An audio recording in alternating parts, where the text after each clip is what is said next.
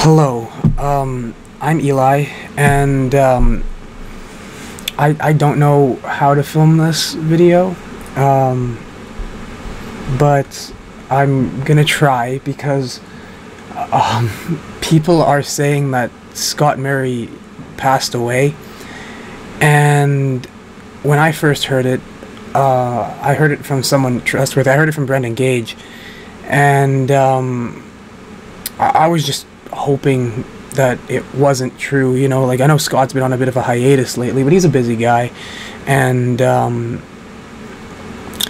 you know, whenever a YouTuber goes away, everyone always goes, "Oh, well, he died, right?" But um, there were comments in his recent video uh, saying that he died, and I, I, I was gonna try and film a video uh, trying to address it and be like, "Hey, like Scott, you know, if you're okay, say something."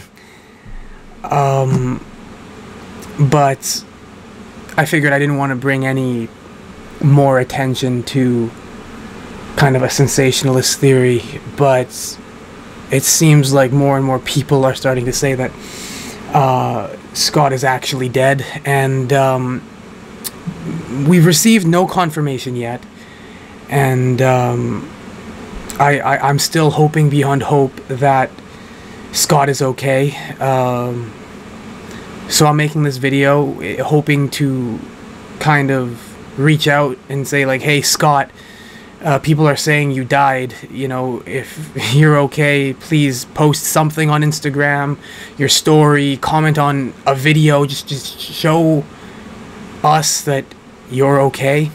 Um, because uh, you have a lot of people worried about you especially considering that you know people are saying that you you passed away. Um, anybody who asks me like, oh well, why didn't you just reach out to him in the DMs first? I did, uh, but you know Scott, I haven't. I, I've DM'd Scott quite a bit recently, but I haven't heard anything back from him for about two weeks. And that seems pretty consistent between all of his socials. I checked all of his socials uh, his Facebook, his Twitter, his YouTube, and Instagram, and, and he hasn't really posted anything in the past two weeks.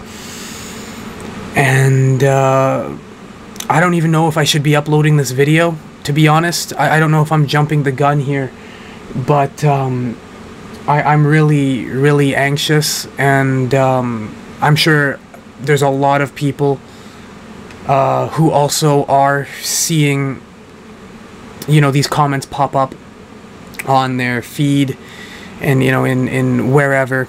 And so i i um making this video to kind of highlight what's going on and and hopefully you know Scott just took a break or something and then he can see this and, and reassure all those that care about him uh, that he's okay. But um, that's, that's really all I have to say for now. Uh, yeah, Scott, if uh, if you're okay, please send us a line, drop a show show something, because um, you have a lot of people worried about you.